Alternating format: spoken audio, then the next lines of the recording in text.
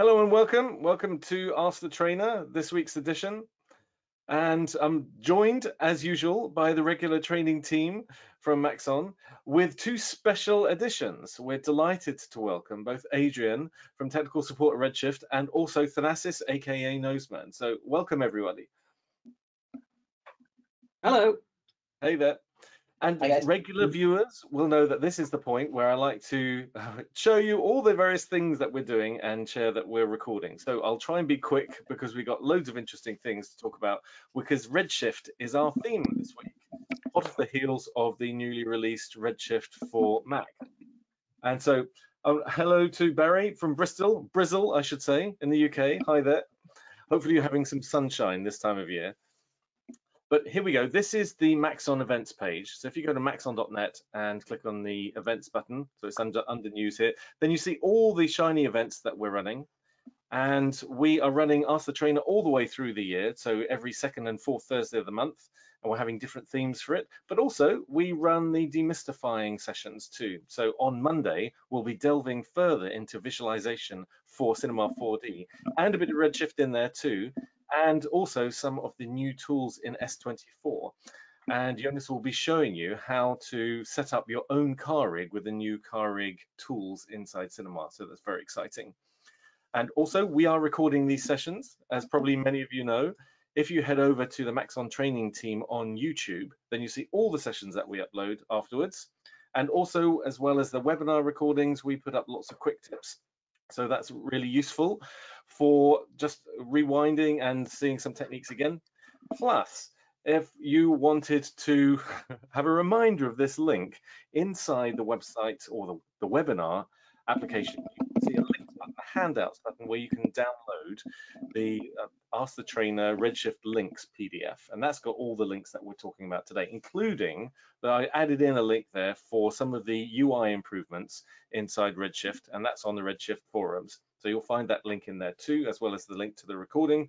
And you'll also find the link to the fact that we're delighted that you're joining us on this session. So um, what we used to do in real life, back back when real life was a thing, we would hand out t-shirts if you came with visitors us at an event. So we'd like to do a similar thing. So thank you for coming on live for this session. So if you go to the merch store, and that link is in the PDF, and we'll also post it in the chat too, and you put in the password visualization, then you can claim your very own uh, Red Giant or Redshift or Cinema 4D or even in fact a Maxon logo uh, t-shirts. So we just want to have a free t-shirt to give you. All you have to pay for is the shipping, which is about $3 or three or four euros, depending on where you are. Fantastic. Great. So I think I think that's it. Great. Yes. So what we're going to do this week is it's an open session. So it's whatever questions you've got, we want to answer, and we definitely have the brain trust with us. So please feel free to jump in any question, especially if it's Redshift themed about all the, the tools that we do at Maxon. And whilst you're considering what question you'd like to ask, um, I'm going to ask one of our team a question because it's quite interesting that we got this new version out on the Mac. So I know Ellie, you were playing with the Mac version um, a little uh, last week or over the last few weeks, in fact. So there, I'd like to ask you if there are any things that you felt that jumped out at you um, and things that you found useful about it.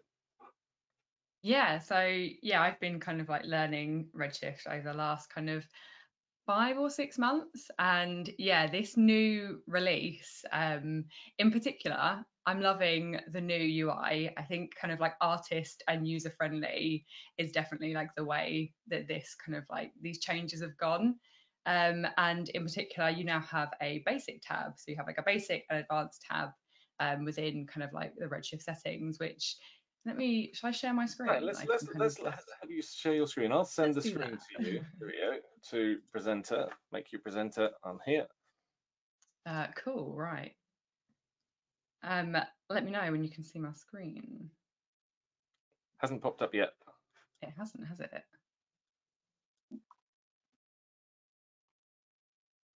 Oh, there we go.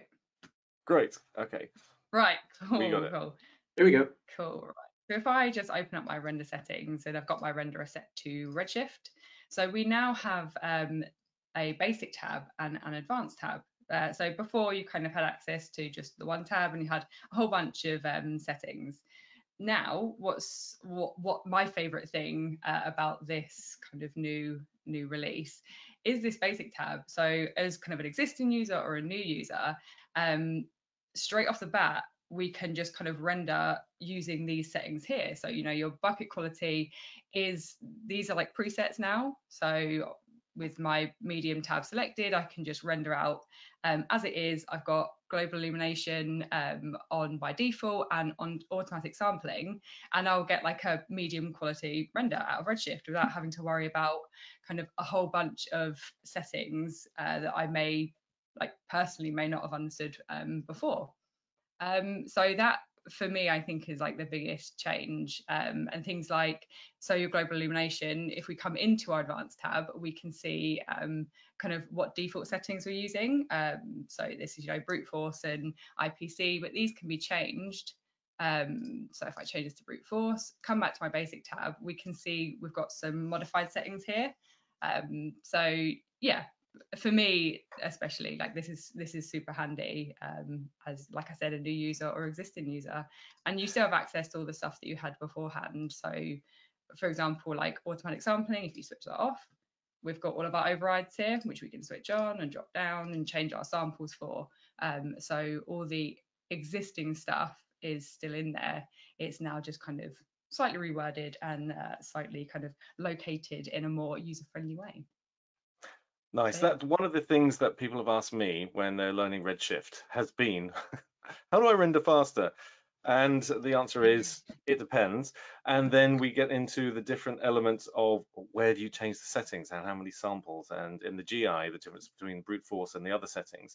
So it's nice that you can just get a, um, a render more quickly out of the box as you're developing your knowledge. But another question that comes up quite often would you mind going back to that, um, the GI settings were for brute force? Yeah. Um, and this is an open question for everyone um, as well. Uh, on that primary GI engine, if you can click on that drop down, Ellie, where it says yeah. brute force, when would we use the different ones and what do they mean? That's another question that pops up a lot. Can I jump in? Oh, yeah, yeah, yeah feel free. Uh, someone question. else, please jump in. Adrian, who works um, at technical support in Redshift, is probably well well qualified to answer this. Yes. Okay, so Irradiance cache is used mostly for flat surfaces. It's a point cloud technique, so we're shooting rays kind of randomly everywhere, and we're pretty much collecting the data around the points, and we're making a, a big point cloud, and we use that to uh, simulate GI if you want. But there's a small issue with Irradiance cache. It's really fast on flat surfaces with really low detail.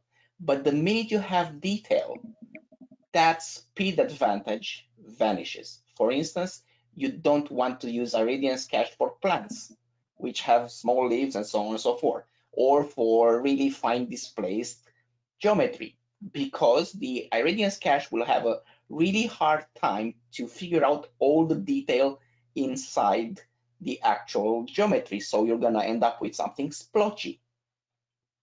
But for architectural and flat surfaces, absolutely great.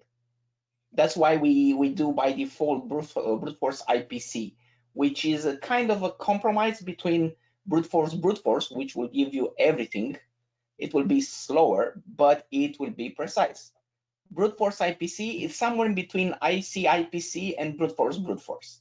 So it, it, it gives you the speed of a point cloud with a bit of brute force, the precision of brute force. Is that and on, good enough? On Ellie, would you mind clicking on the drop down for the secondary engine?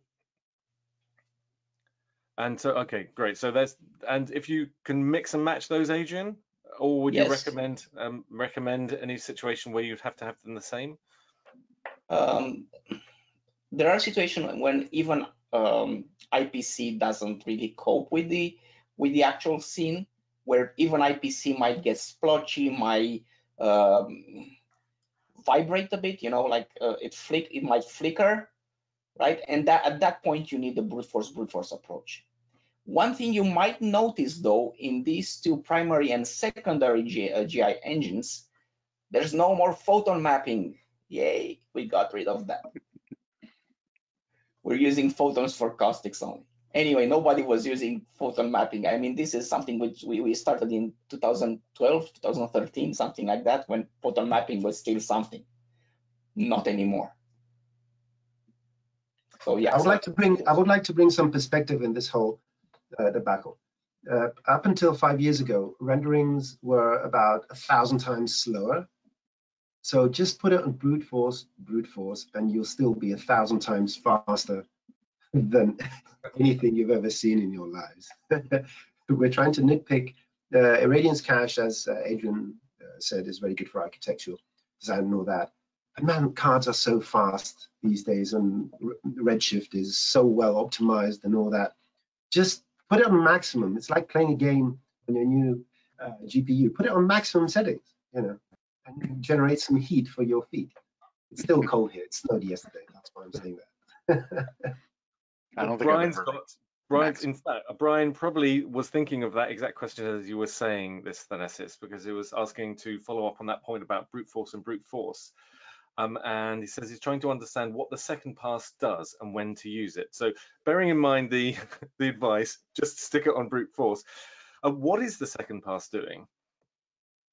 Uh, question for me uh, or Adrian?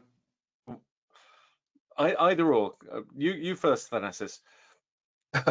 okay, when we talk about uh, GI compared to uh, traditional, let's say, non-GI renders, the only light we get is the light which is directly coming from light sources.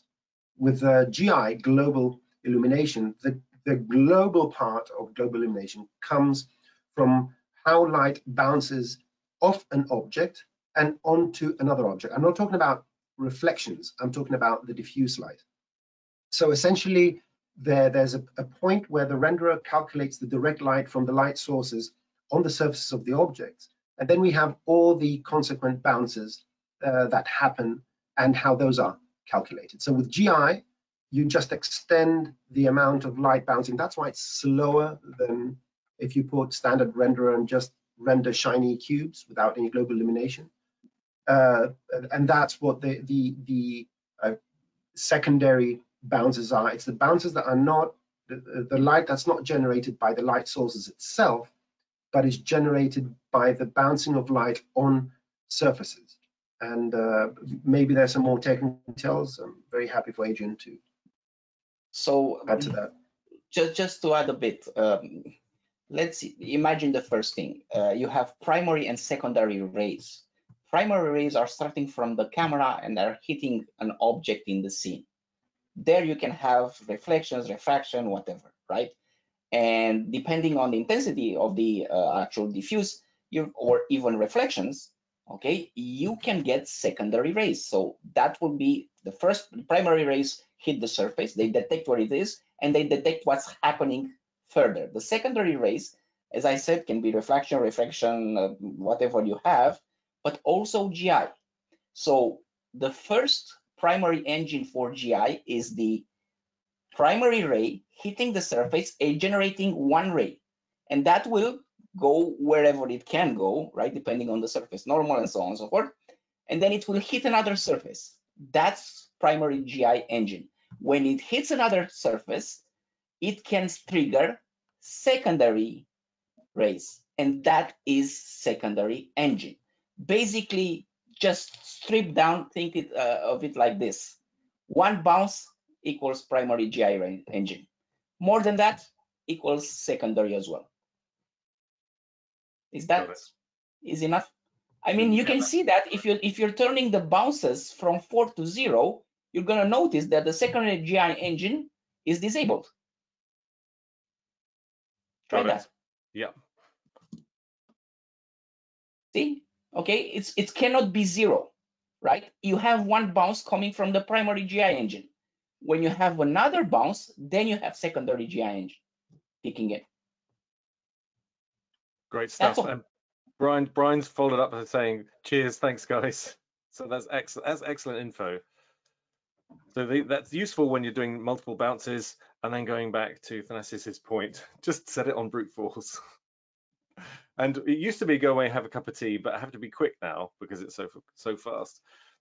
Um, Garrett's asking on the basic mode about the, the number of samples. So on the basic mode, does the system keep the math divisible by two, like you would do on an advanced setting, making sure local samples are higher than unified?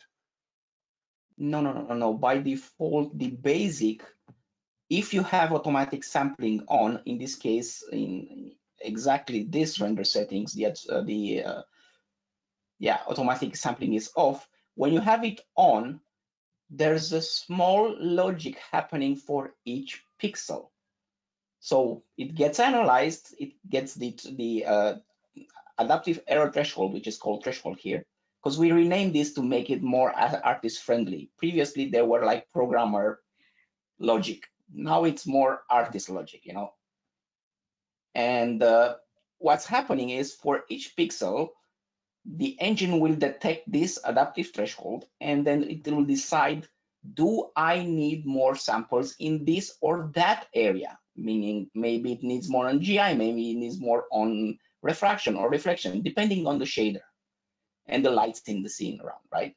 So, and that's really, really easy because to be honest, these days, all I have to do is fire up Redshift and just hit low medium or high, depending what I want to do.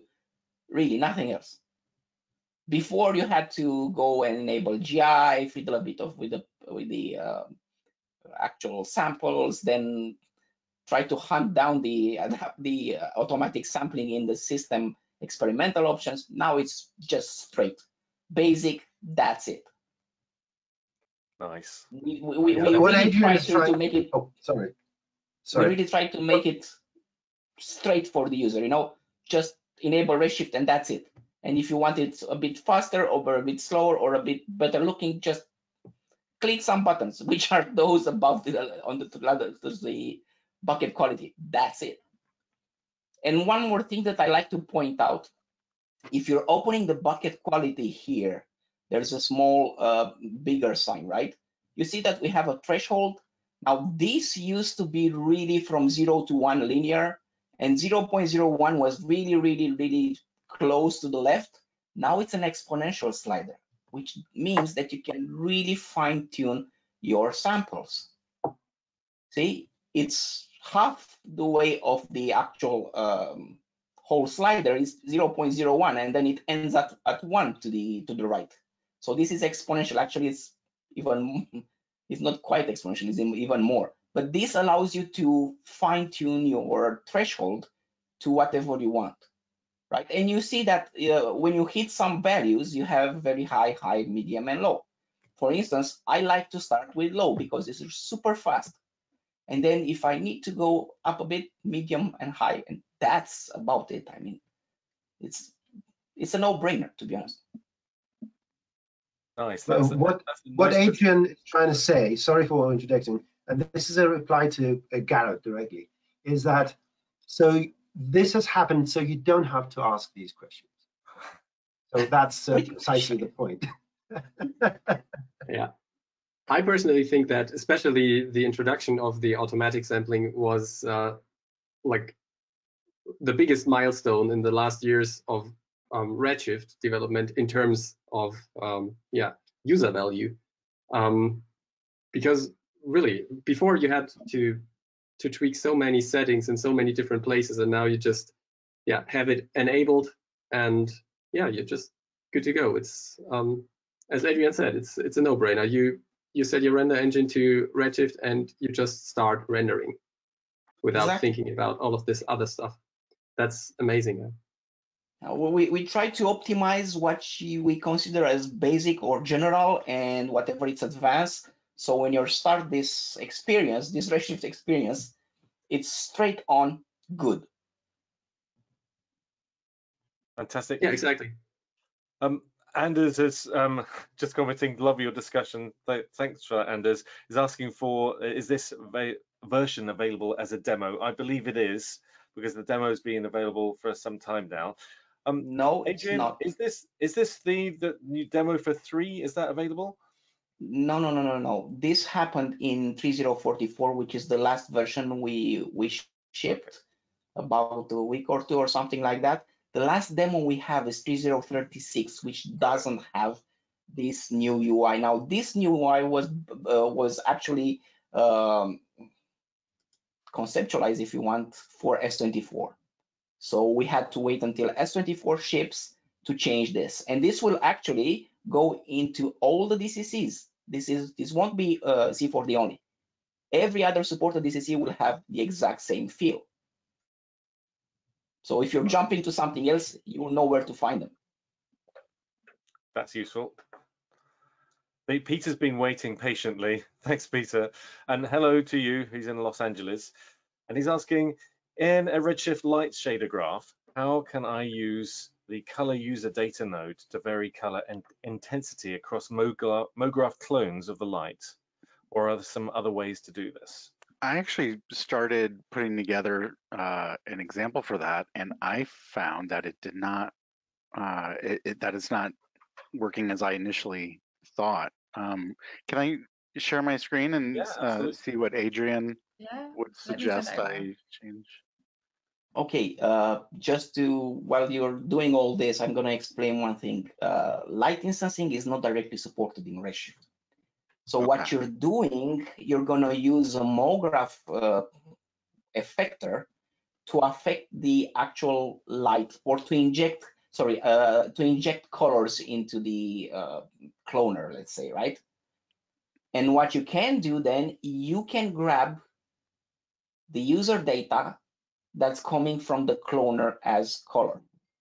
So if you're going, for instance, to the cloner and then uh, to the, can you click on the cloner? Mm -hmm. Okay. Yeah. Objects. And you can see, uh, you don't, can you, I don't know if that works. Try, try a random cloner with nothing. A random, sorry, a random effector with nothing.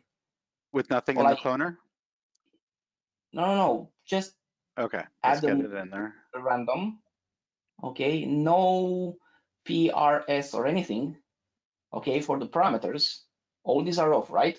All we yeah. need is a color mode. So okay, if you're going, so then... go down to color modes, which no, no, no, go back to okay. object uh, random. Okay, exactly. So you're gonna get the effector color. Okay, and then you choose a blending mode whatever you want. Add, subtract, multiply, divide doesn't really matter. Then you will be able to use it. All right, but the default, no? It's okay, the default. It's okay, all right. Whatever, it's just an option. Huh, okay. It well, doesn't have to do anything. It just injects color data into your cloner. Um, okay, so the color data is in the cloner. Um, can but you're saying we can't get that into like this visible area? This uh, in the sphere?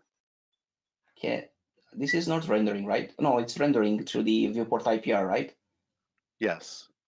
Can you refresh that? Yeah. It's uh refreshing. It is it's, we're at two three percent. No it doesn't matter. It's black anyway right uh, yeah, let's here. Let me do something a little different. In the random, I'm gonna uh, set it to uh, field color because I have, um, and then I'll add this uh, with a it has a purple here, and let's refresh. Force a refresh. Huh. Still black. What yeah. options do you have in an attribute name? You're on RSMG color, right? Uh, which options do I have where? If you're if you're in the shader graph for the attribute yeah, name, there's so, a small drop down menu on the right. I have the MoGraph color for the. Okay, there's a small drop down menu. If you're clicking on that, what you get? Yeah. Color, index ratio, objects. Okay, try the uh, display color. I think that should might hmm. work. Okay, that'd be interesting. One of these things, I don't know. It's I have to to to probably open and see and look for this. Hmm. But if this doesn't work, it's because we don't support instancing, light instancing in Redshift, right? So this is an actual hack. Um, now, I'll, I'll look. I'll while you're talking about things, I'm gonna make a scene for you, and uh, we can get back to this, right? Excellent. This is perfect. Excellent, excellent. That's that's exactly why we plan these sessions so we can be interactive like this because that's Yeah. that's the sort of thinking process that often we have when we're on jobs and try how do we get around this. So that'd be brilliant. Thank you, Adrian. Um, there's another question. Um, Glenn asked a few minutes ago, in the original Redshift node editor, will there ever, ever be a shortcut key to be able to preview the node you are working on only? um, as well as well as other shortcut keys to connect and disconnect nodes. So that's you mean the solo that's- mode? oh You Can can, be if you're solo. soloing the node editor in node in the node editor, you can get the current node, isn't that? Uh, in the Cinema 4D nodes. Yeah, there's a there's a solo. And for the shader graph, if you want to do the shader graph, we have a, a shortcut for that, which is Q. Oh, really? Yeah, it's you click Q and it connects actually Q, whatever you make it. Sorry, uh, you just set a shortcut for the command to connect node to. Let's close this and go. If you're going, if you're opening Redshift um, shader graph, there we go. not the node editor. Yeah, here's here we go with shader graph. Okay, there's a small menu called Tools in the window. There you go. Connect node to output. And because Mhm. this is a command, you can assign whatever you want. I have it on Q, for Yeah. instance. Yeah, I actually haven't done it since I got on this desktop, but um, the way to do exactly that is uh, you go to customize commands. This has every single command and object and, and Cinema 4D tool, whatever. Um, and know what you're looking for. So here it's connect node to output. So in that customize commands name filter, begin to type that connect node to, oh, here we go. So here's connect node to output, and I will go down to this shortcut where it's blank, and I will choose control enter, and then I will click assign. And so now that is my keyboard shortcut. So I can choose uh, this node and hit control enter, and it just connects it to the, uh, Surface output. that's right. Or I could go to this texture, control enter, control, or Adrian said he uses the Q key. Um, so, and then, yeah, so, so that's, uh,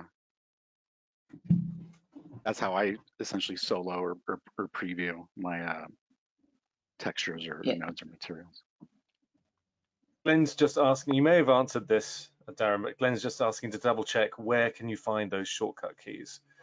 Yeah, so if you go to your main menus up top to Window, Customization, and Customize Commands. You can also get to this with uh, Shift F12, or if you right-click in most icon palettes, you will find uh, a Customize Palettes thing, which when you select it, brings up this window um, with this option enabled. Uh, which allows you to drag and drop those commands into the interface. Uh, but anyway, um, yeah, so short answer, sorry, window customization, customize commands. Fantastic. Um, Glenn's just come back with a follow-up comment saying it'd be making this much faster to preview. Um, can you do the same thing you were just showing to connect and disconnect nodes?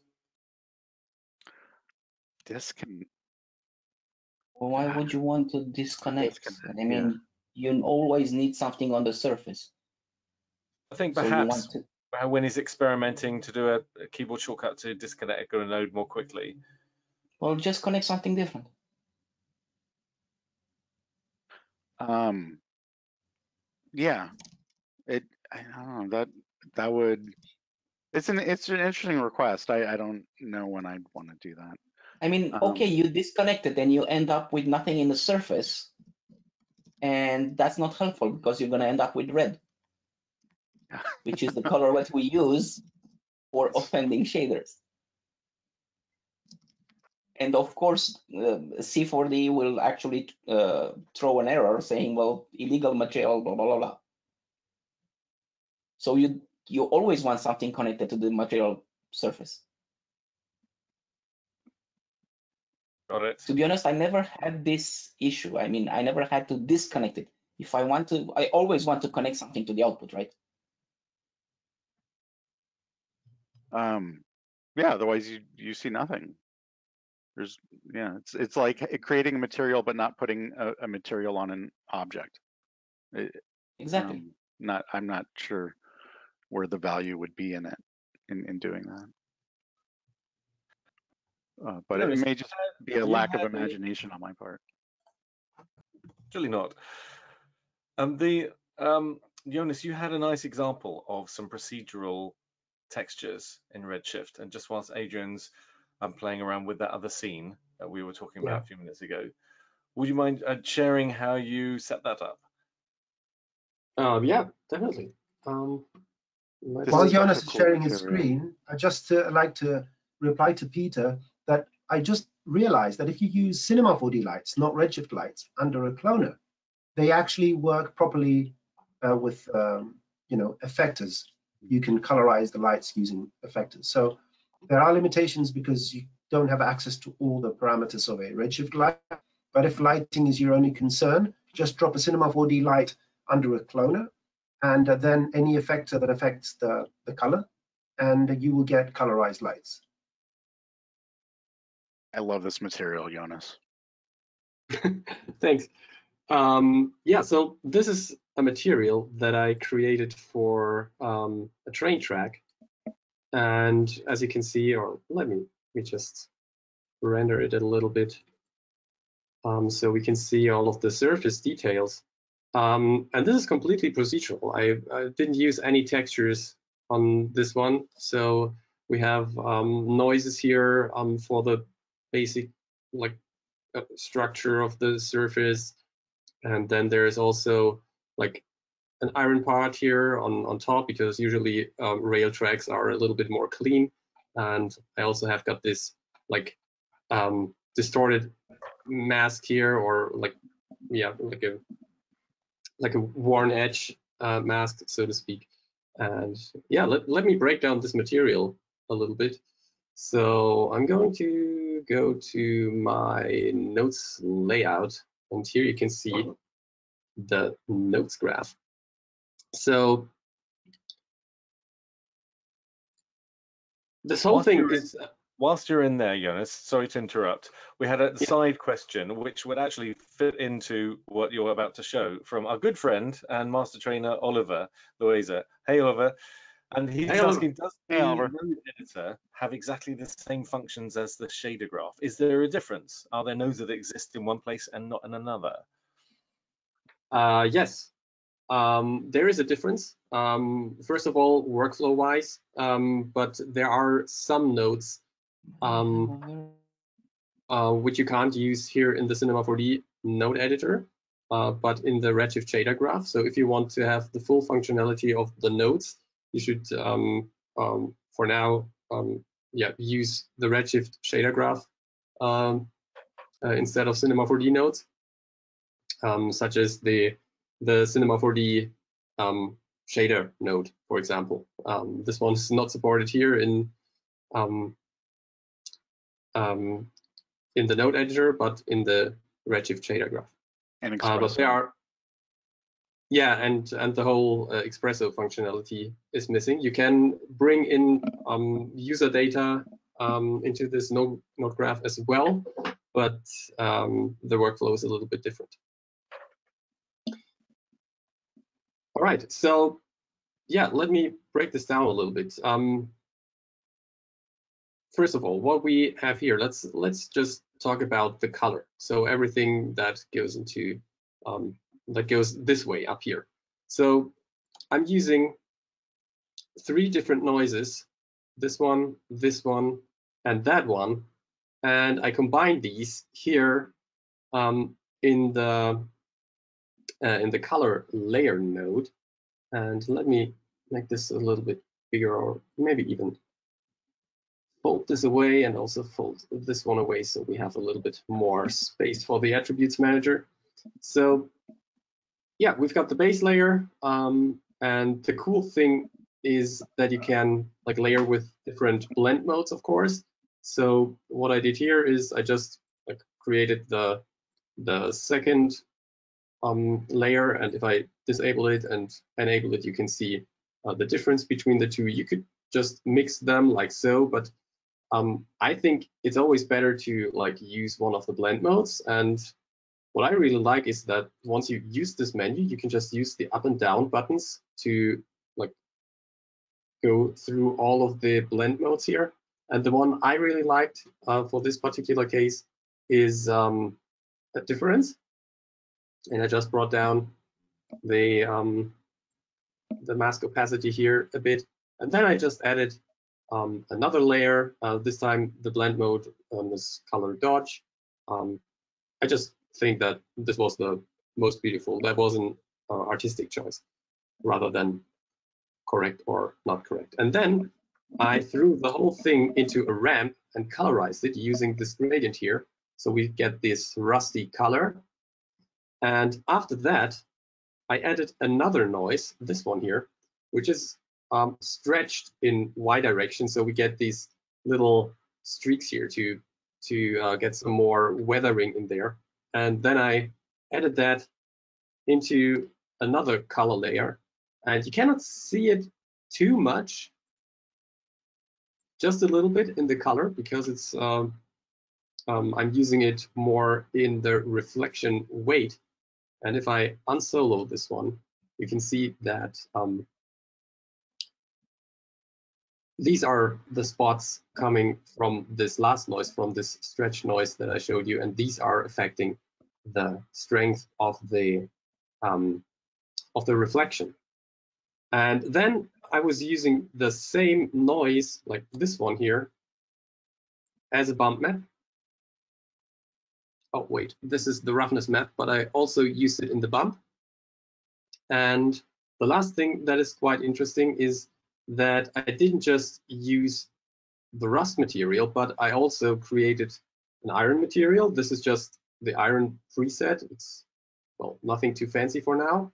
Um, but the interesting thing is I was using the material blender node to blend between the two materials. And the way this node works, let me just mute my mask here, is that we've got two layers of material. One is the rust, one is the iron.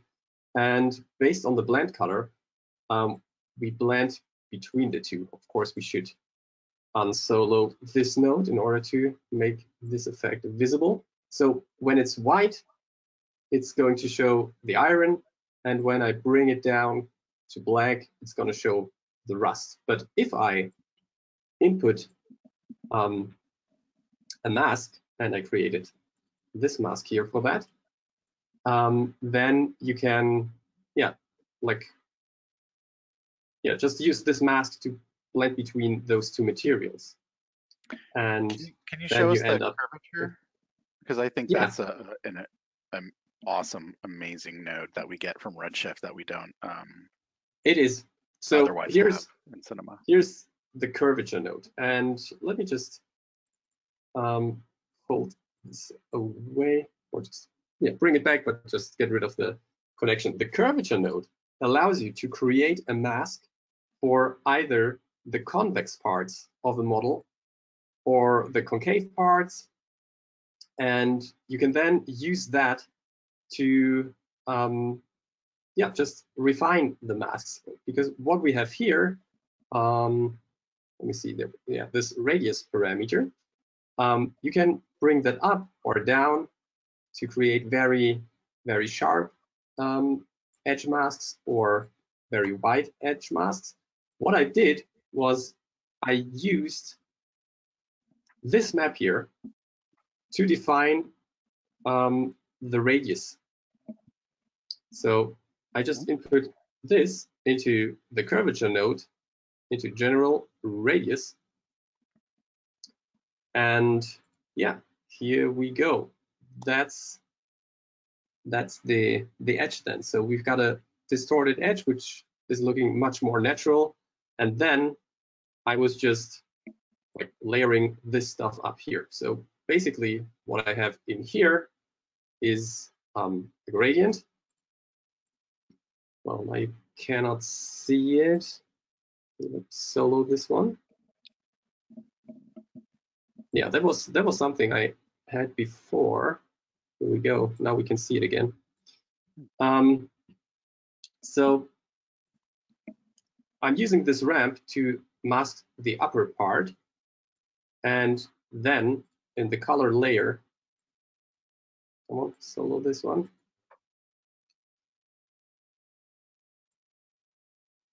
Well, something is not working here for some reason. Is it that the other? Oh, it is. It is working. I just disabled yeah. the um, the other layers. Um, yeah, I was just using a noise on top of that. So the very same noise that I used before, like this one, and just put it on top in burn mode. So again, I was just uh, going through all of these uh, modes and I just wanted to show this, uh, to make this noise showing up in those areas where I have um, like the gradient from white to black, but not the white areas and not the black areas of the of the gradient. And this one, which was burn, seemed to be the the best one because it it's really detailed and really sharp and uh, just yeah, it looks cool. Quick question for you. Um, yes. Um, Alexis is asking, what's the shortcut to toggle between modes? Um, well, once you once you um, had once you had this um, this drop down active, you can just use the up and down key to like go through these through these modes. Yeah, and then I just added the curvature map on top of that um, using add mode. And yeah, then just piping this into the material blender um, blend color. And then you end up with um, a little bit of metalness here on these edges, but the main thing I wanted to achieve in this material um, is um, like this effect here on top. And if you want me to, I can also share this file with you guys. Well, that would be wonderful. Yes, please. I think so, the answer yeah, to can you share your file, it, well, would you like me to share the file, is always yes. yeah, it's interesting. Glenn's um, jumping in with his favorite node. He likes curvature. I think um, Darren, by the sounds of it, likes the color layer node. So maybe we should have a quiz. your your favorite Redshift nodes. Mine yeah. is actually the material blender, or any node that has the word blender in it. Those are my favorites for sure. yeah, but those allow for a lot of flexibility, which is which is quite amazing. Totally Mine is but... the OSL shader. What was that? Ah, the OSL shader. The oh, OSL shader, yeah, that's nice. that's also a new one, which which has been added to um to the latest release of, of Redshift. Adrian, do you have um, any examples that you can share, maybe, or because I don't have any? Uh, yeah, actually, we have a GitHub page with examples for uh, different shaders that you can use. You can, of course, uh, if you're willing to spend a bit of time to read the OSL specification, you can create your own. And that's the beauty of it. I mean, yes, this OSL took a long time to get it, but it's here and it's working and it opens the, the shading possibilities for Redshift to a completely different level. Nice. Any, any chance you could share that GitHub address? Could you post it in the chat section in the webinar? Yeah, I'll I'll do that just now. Uh, actually, I, I think I have even an example I made a few uh, days ago about how you can, you know, the box shader where you can have uh, a shader put on a flat plane and you turn the camera around and you look through the plane and it's a you're inside the box. So you can do buildings and things like this Oh, without having yeah, to model anything. parallax, the parallax exactly, shader. Yeah, yeah, parallax yeah. yeah, that's cool. that works just fine. Let me. Uh, uh, let me send you the screen, the screen, Adrian, so you can share your screen. Here oh, uh, wait, wait, wait, wait. Hang on. Redshift GitHub. No, not this one. Don't know if I'm sharing anything. I've just I've just sent the screen. Oh, screen. Yeah, I'm I'm still on a 4K, I think. Uh, let me just Redshift GitHub. Oh, come on. There you go. Okay, so we have a lot of shaders Not here. Your screen yet, Adrian? Can you see my screen? No. That, no. You should have a little pop-up box just to select. Show screen. There we go. Now we can we see cinema. So it's GitHub Redshift 3D Redshift OSL shaders. Okay, I can I can actually copy and paste this in here and send to all. And you can see we have well quite a bunch of them, I think. And um, from simple things, I think I I wrote some of them. Um, for instance, let's say you have a 3D noise, a black body, which to be honest, there are some some are really super simple, like this one, for instance, right? Uh, let me hide this. So what it is, it's a vector radiance. It calls a black body function with the Kelvin. You divide it by pi, and then you normalize the radiance on the by intensity. Nothing really complicated. Probably for guys that are not into math at all, that might look scary, but you know what? You don't need to know all this. Just mm-hmm. get a shader from the list and have fun with it. Mm -hmm. As simple as that. I mean, look, Starfields, new. Um, I have we have a Nishita, I think, uh, sky, a new sky model, uh, marble shaders, this window template, window box, uh, flakes, whatever. I mean, and you can write your own. I mean, I one of the things that bothered me was, for instance, that I had to actually uh, get a C4D shader to create a, uh, a checker box, right? So, you know, if you have, for instance, let's create a material, right? Just a simple material. By the way, I'm not into node editor because of some limitations.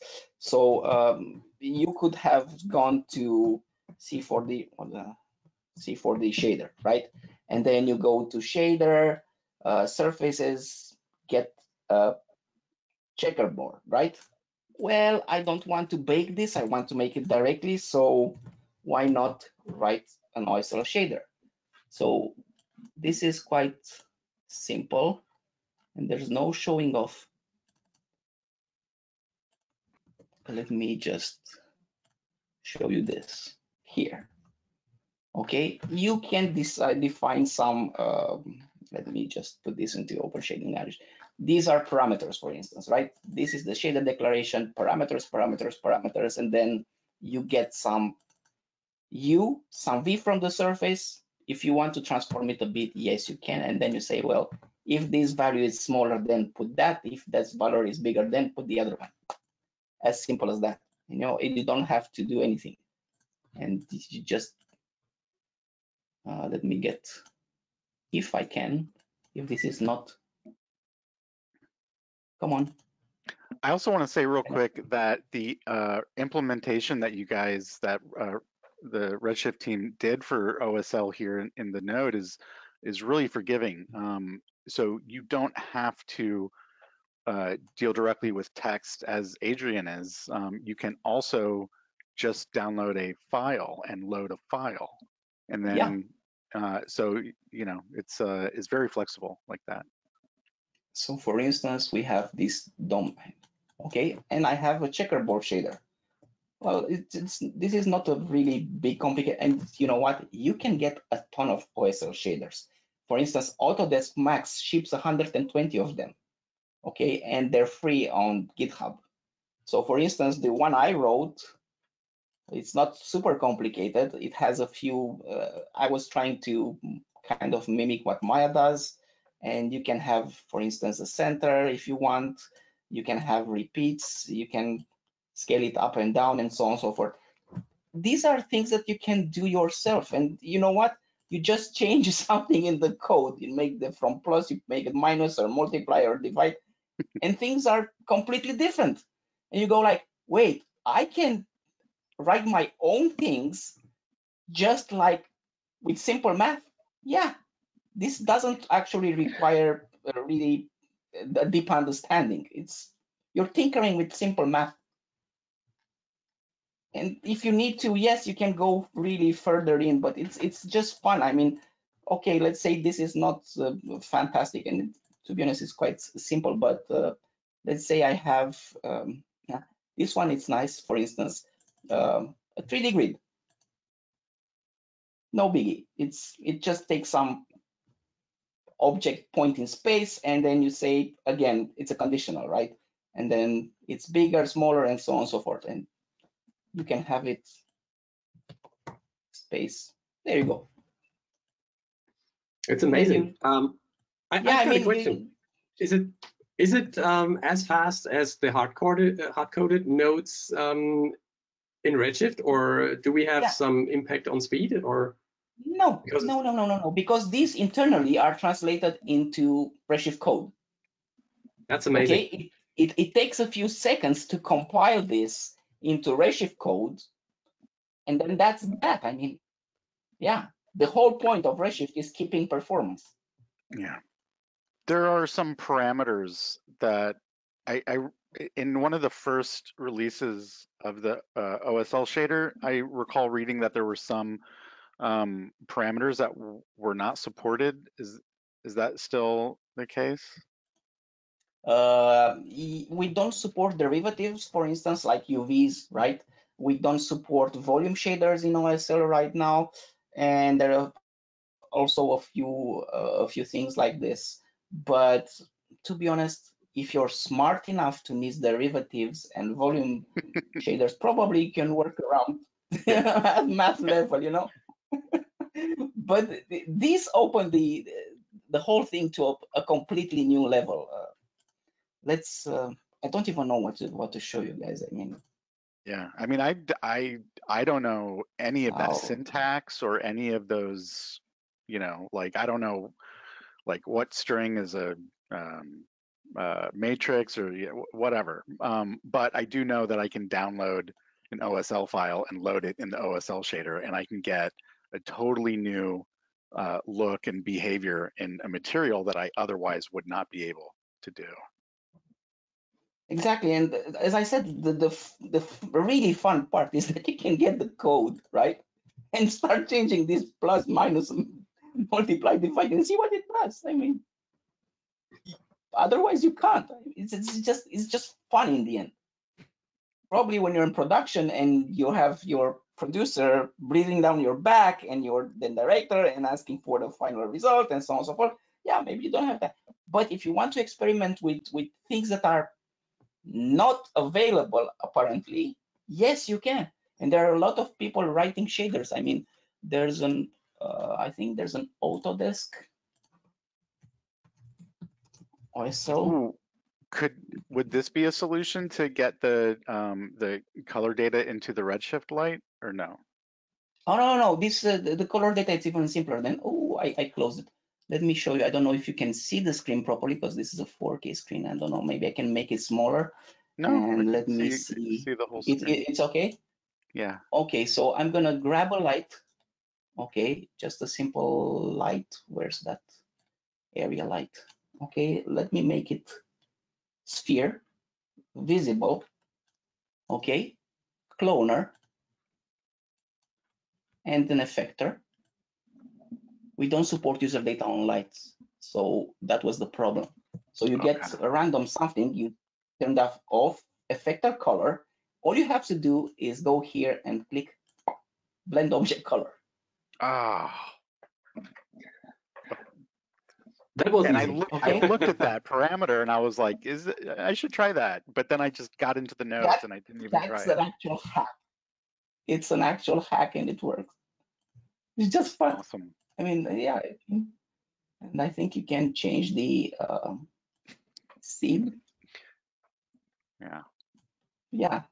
That So is very cool I and very actually I, helpful. I, I answer I answered this on the uh, on the GoToWebinar questions here somewhere. Thank you. So yeah, it's it, but it's it's it's two steps. Inject some random colors and then simply just blend object color. That's it. You So don't easy. need to do a shader graph. Yeah. Nice. Oh yeah, it's it's it's it, it's fun. Uh, I'm gonna try to find for you that example with the with the box because it's amazing. And by the way, with OSL you can support um, ACES.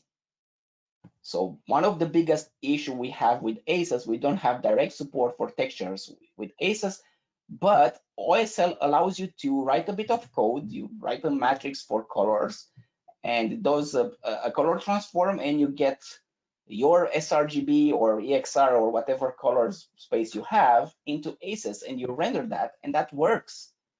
And probably, of course, I probably don't have all this right now because, well, it's a mess. Uh, GB box. Well, And I think let's because let's, so many let's people, continue instead of looking at me trying to find the file. Let's continue with anything else. So I'll, I'll get back and I'll show you this. We we do have um, some other questions as well that are jumping in. I've got one, one eye on the clock, and it's we'll probably slightly overrun if you need to, to leave at the top of the hour. But there's a couple of questions I think that would be interesting just to get everyone's opinion on. The first one is Paul earlier on wanted to know about the M1 chip, and this is related to a question that Trip just asked. So Paul's question was, have any of the team run the Mac version on the Apple Silicon M1 chip and that's both redshift and cinema and if so what was the performance?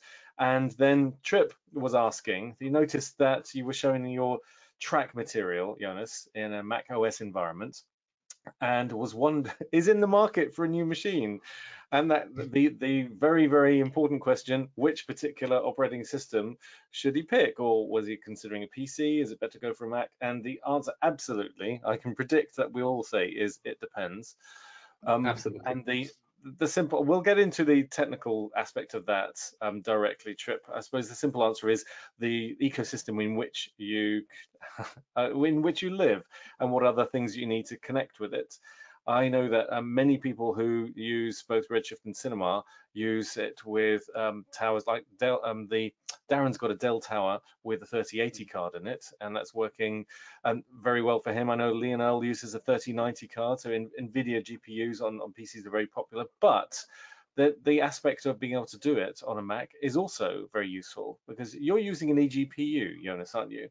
Yes, yes, I've got a Sonnet box with uh, Radeon Pro uh, W5700 in it, and um, yeah, I'm I'm happy with it. So the the speed is amazing. I mean, it's for me, it's the only way to like use Redshift on my MacBook Pro. So the the setup is a MacBook Pro plus the eGPU, um, but I'm really happy with it.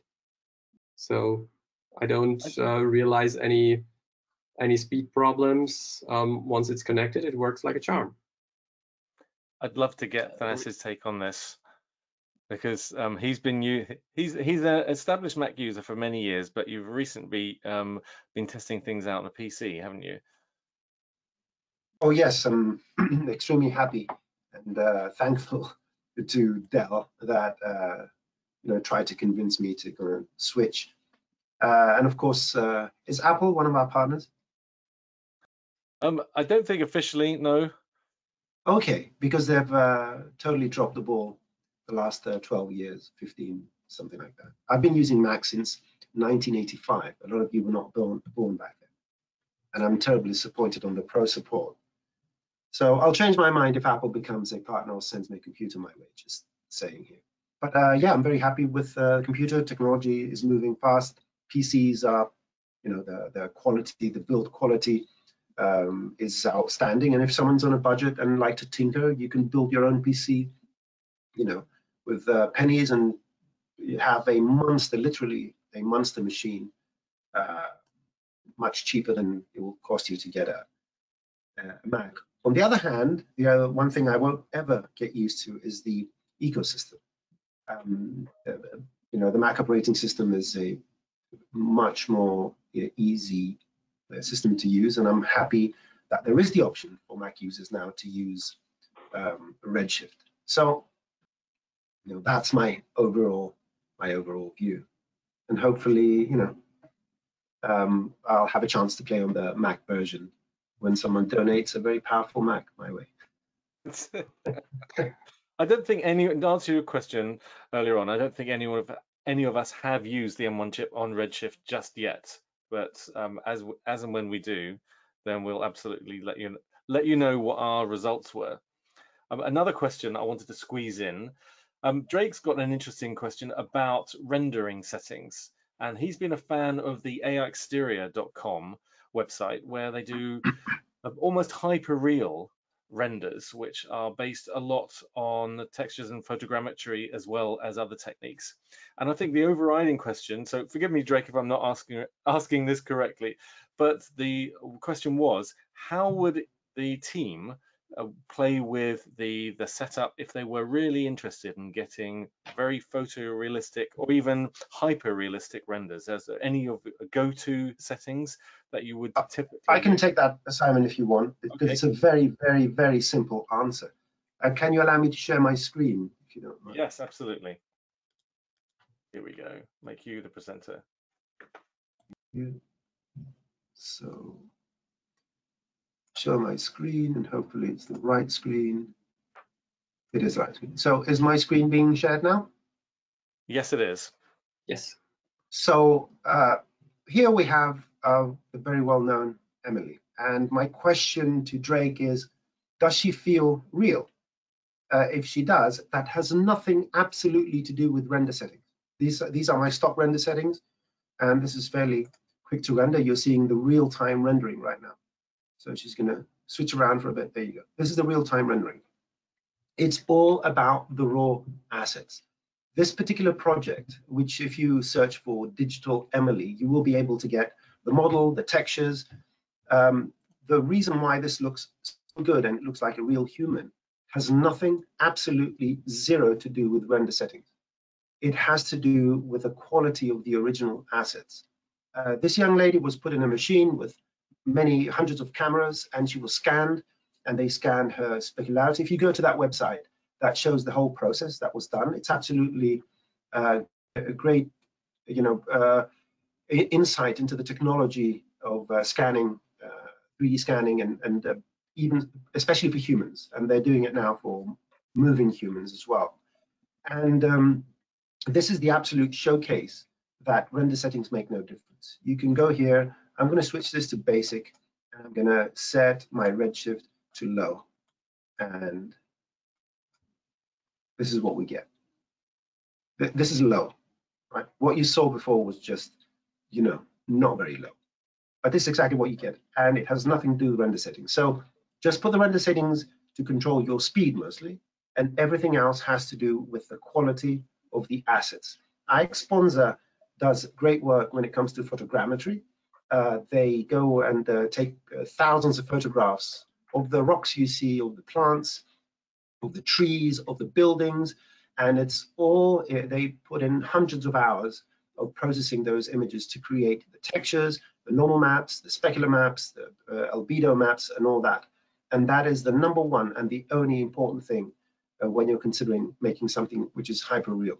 Have a very good fundamental basis where you get your, uh, your data from. And that's all I have to say on this subject. How, what would you be your approach on if you were um, doing non-humans, that like say environmental stuff, um, like rock or glass, and so on? Would that be a, a similar approach? Okay, I mean, glass is a totally different thing. You the only data you can get for glass is the surface itself, and it's very difficult to do photogrammetry. But in uh, talking about other diffuse things like rocks, uh, or trees, or uh, buildings, um, you you can use photogrammetry now, which I think that Unreal um, Epic Games uh, acquired a company, uh, if I'm not mistaken, cre created. Oh, someone can fill me in on that. And uh, what you basically do, and what photogrammetry is for anyone that doesn't know, it's a, a technique where you use a camera, uh, you start taking photos of something, either an area or a particular object, from as many angles as you can. Some of these uh, sessions uh, can be more than a thousand photographs. And each photograph has a different part of your object. or environment. What happens then, special software takes these photographs and finds the overlapping elements. They use these amazing algorithms and they can um, create a huge panorama. Just like we stitch photographs when we're creating a 360 panorama in Photoshop, for example. Um, this does the opposite. It actually stitches them around what you're doing. And when it's created that, uh, let's say 360 image, if you're moving around something, you see all the aspects of it. And you, in your mind, you say, oh, now I know how this thing looks. Well, the computer does the same thing. They put this uh, through some algorithms and it extracts the geometric data, uh, just like we do camera tracking, for example, where each frame of our movie, we find those markers and then everything all together, the computer can calculate how the camera is moving.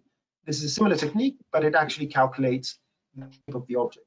And then you get not only the actual model, very high density model of the object, but it actually extracts the material of the object for every one of those shots. So you get a, a, uh, a material that fits exactly to the model. Now, there are other ways where you can use special filters so that um, in a, if you're outside and you're shooting a rock, you can use uh, polarized filters.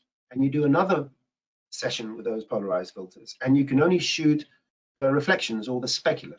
And you have the ability, again, you it's very, very enlightening if you go, you look for Digital Emily and find the page that shows the whole story because it does have images of how a human looks if you shoot with a very specific polarized filter where everything is black and the only thing that is shiny is where you have moisture on your surface. And because moisture reflects more, you can use that in the specular channel. This is one of the things I've used for this particular image where her, her cheeks and the top of her lips are a bit more shiny and uh, so forth.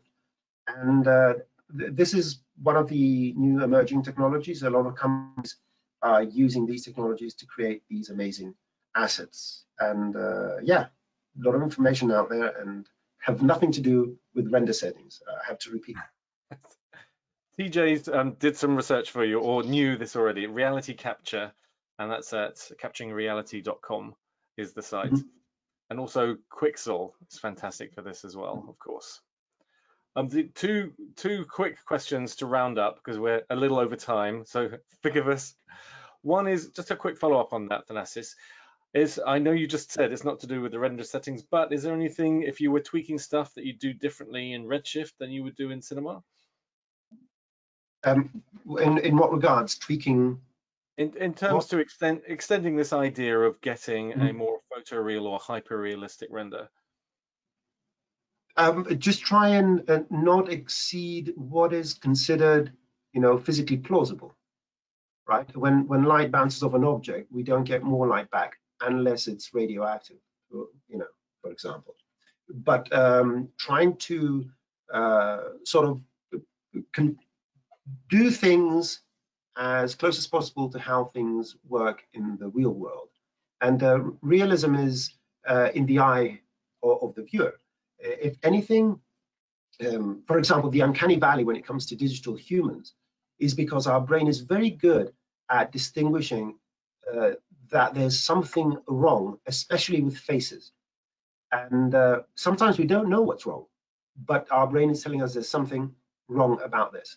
And although you know when we look at cartoons, we don't get that sense. So if we're looking at a stylized motion graphics render with a lot of shiny things and weird cubes moving around, nowhere uh, our brain is being instructed that this is a representation of the real world.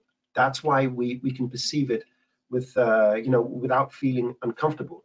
But when you see a digital human, or you see a rock or a tree, and uh, realism around it when you created that scene is not represented very accurately, you may not be able to identify where the problem is, but your brain is firing and saying, there's something wrong with this, you're not feeling well, you're sick, you get dizzy, and all that kind of stuff. Uh, but trying to adhere to the, the, the rules of uh, nature. Uh, what I tell people when I do training sessions is that all you have to do is look at the world around you and start asking questions. Why does this look this way? Why do specular highlights uh, why are specular highlights more bright on the rounded edges of objects? It's like your, your, your rear view mirrors in the car because it makes things look smaller. So if you have a huge light and in a metal object or a plastic object which has a round element, that big light becomes smaller because your mirror is uh, uh, convex. Um, the light reflection gets condensed, but the intensity is the same. So you get the same amount of light you get in a big surface, but you get it from a small surface. Hence, it makes it appear brighter. So these are the kind of things, you know, if you look around uh, your, uh, you know, outside or on your desk, you'll find all sorts of things. I've found this uh, bicycle light the other day and I repurposed it. It works fine. And Oh, I'm looking at the print? Sorry? You didn't print that one? No, no, no. I don't print everything. I, I just gather rubbish, which still works, and gather it, grab anything, your mouse, a pen, um, some gum, a, a, a an eraser, a pencil eraser. I still use pencil and paper, by the way, and and see, look at it and see. Okay, why is the the plastic shiny? Put it against the light. Change the color of the light. Um, turn your dimmer if you have a dimmer down and see how it re uh, reacts. That's the only way you can get a better sense of how things work. And by understanding the difference between how light behaves, because it's all about light, right?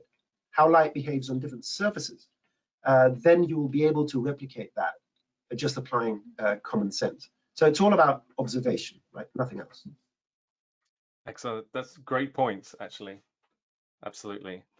Um, thank you for everyone for with us for slightly running over time. Got time for one more tiny quick question, which I thought would be interesting for Adrian. Jeremiah has asked about Redshift implementing a toon shader. Ooh, that's a good one. It's on Rob's to-do list. He's gonna do it. Okay, you heard it here first, Jeremiah. there we go. But but but but but you can do things up to a proper toon shader yourself. I posted a video some three years ago about how to create non-photorealistic rendering using a, a, cross product between the light vector and the surface normal, which actually is just a Lambert shader that you can then remap and get, uh, you know, the shading just, uh, if you want, compressed. Uh, you can do things with OSL shader, for instance, like a half tone um, shader. There are many things that you can do, especially that OSL is right now integrated into Redshift.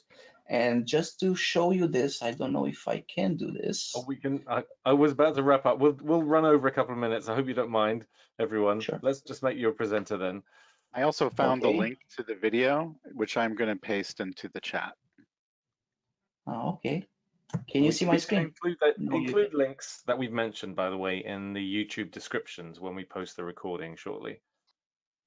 We don't see your screen yet, Adrian. Okay, show my screen. Because someone made me the presenter. Here we Okay. go. Okay, so Works. I have this, this simple plane here, right? As you can see here, it's a plane, right? How about this? Whoa. Parallax shaders are awesome. Yeah, Yes. so cool. Okay.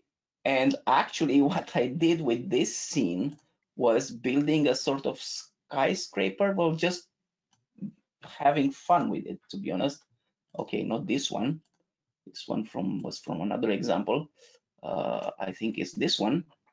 And this one it's a bit huge. Um, because I started with that, that, and then what you see here are just boxes. Okay, boxes the as shader right? And if I start rendering there's a this huge cylinder with a really about 26 or 28k image of some city just to integrate this a bit. And hopefully this will start rendering. There you go. Okay, and these are boxes, nothing else. Okay, it's, it's just one shader. Actually, there are a few of them, and there's a um, there's a Maxon noise that's actually switching these or even user data. And you can if I get this kind of like, oops, so in this position, and you're tweaking it, it's not quite far from what you get, right? I mean, yes, it's a bit of noise, a bit of this, a bit of that, and you can get close and move around the building and every single thing that's inside that shader can be different. Now you're saying, Adrian, it's a box, but is it? Yeah, I'm saying it's a uh, it's a box shader, right? It's right, it's right, a right. it's just a, a flat poly actually. Exactly. And if you're looking if you're looking at all this, hopefully probably won't work because it uses the cloner to guess all this, but it's basically this, this little, come on, come here. Just as a side note, you can actually replicate this shader um, in Cinema 4D standard render without OSL uh, using the material nodes. It's not simple, but it's no. um, yeah, it's one of those amazing uh, techniques. As you can see now, what Adrian is showing, you get the sense of 3D, where in fact the, the 3D effect is calculated by the shader, by calculating the angle of the camera on the plane. And this shows you know how powerful the system can be if you're willing to put in you know the the, the time and the effort. Yeah, it's Actually, especially great for. This. I just got it from the internet. Mm-hmm. That's as simple as that. I mean, okay. And what the shader does is actually modifying the UVs of the texture, actually of the plane, so it catches a different UV based on the camera. That's all. I mean, it's very clever, really. And you can do this with with really uh, big instances of, of buildings and just to vary a bit the contents of the buildings. It's I find it really amazing that you can do this kind of things really fast and we can support in Redshift. Yeah, the, the cool thing about this is uh, you cannot just have one room per plane, but you can also have like a grid of rooms just on one plane. We had that example, um, what Thanasis just um, mentioned uh, with Cinema 4D R20 when our um, node-based materials came out, and one of our beta testers created um, a, a, well an exterior shader for buildings where um, there were multi multiple windows and the facade and um, when you just moved the camera along this plane you had a whole facade of a house. And this is like incredibly useful for like bigger VFX shots when you like have a camera fly through New York and like something a little bit of destruction. Doesn't matter. If you fly through all of these skyscrapers and so on, you don't want to have all of these geometry inside of the buildings because that would be overkill. But if you have that yeah, on a shader basis, yeah, when you have that on a shader basis, you can fly through um, the streets and you will have the parallax inside or behind the windows that you need in order to sell the shot. Because hmm. if you don't have that, if you're just using plain images, although yeah, it might be a fast flat. camera move, you will notice it. It's exactly this uncanny valley thing that Thanasis um, mentioned earlier, uh, just with um, with architecture and perspective. Um, but it's basically the same thing, and this uh, can save a lot of um, render trouble. I gotta say, Adrian just did a really subtle but very cool thing. The thing is that uh, each side of this uh, each side, each wall of this room, this virtual room, um, a, a, texture is chosen for it. And um, so there aren't actually lights, but Adrian just hit something and made it appear as if uh, he could turn yeah, up the lighting in this one room. It's just intensity on, on the actual shader. Mm -hmm. So it's a brightness, let's say, right? So yeah. parameter. Yeah, I mean, it's subtle, it, but it's cool. Exactly. And the thing is, you can have many of these. I mean, you're not restricted to one. Like I, I have here, I have six because I had six images already made and a shader, shader switch. And then I decided to change this based on a maxon noise that I have here. And then, you know, just have fun with it. I mean, yeah, the, the whole point is we're in a cheating business yeah. we're trying to get to get images rendered but we need to make it so colossally big and complex the scene sometimes you cannot render. So you're gonna cheat in every single possible way. And I find this absolutely amazing. In the end, it doesn't have to be right, it has to look right. Yeah. Exactly. Correct. That's yeah. the mantra. You can if if you can sell the shot, that's perfect. You're done. Yeah.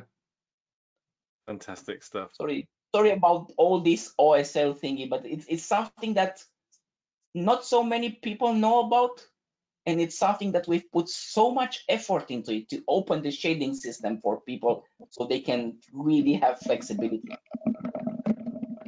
And, and it's really awesome. I mean, um, if you could point us to to more um, resources where we can download OSL shaders, uh, I think that would be cool for for um, yeah. our audience here. Uh, we have, have, our have own it. GitHub where we've tested the shaders and those work because every DCC has the OSL implemented up to a point, to be honest. Um, you can see that, for instance, Arnold doesn't build the UI. The shader works, right? But it doesn't build the UI nicely. We're trying to do both to build a, a nice UI, but you, you see here you have hue, and this is a spinner, right? This is not nice. I rather have something like a, a float slider, right? Where it's just usability, and we're trying to do both. See, this mid, these midtones, this is something way uh, better for a user to have than this hue spinner. Mm. I can have to, you know,